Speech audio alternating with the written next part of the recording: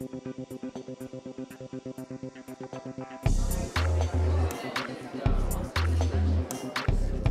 here to help in the judging panel for this wonderful competition.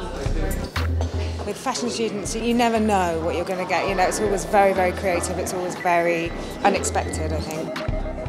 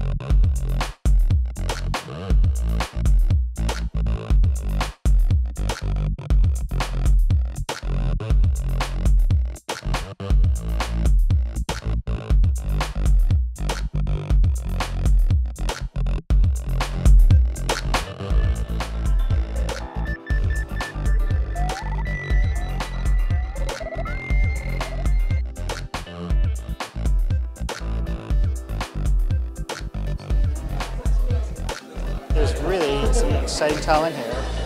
You know, it's just nice to see something you haven't seen before and see that spark. It's kind of like a story and a narrative to all of the clothes. I'm kind of astonished actually.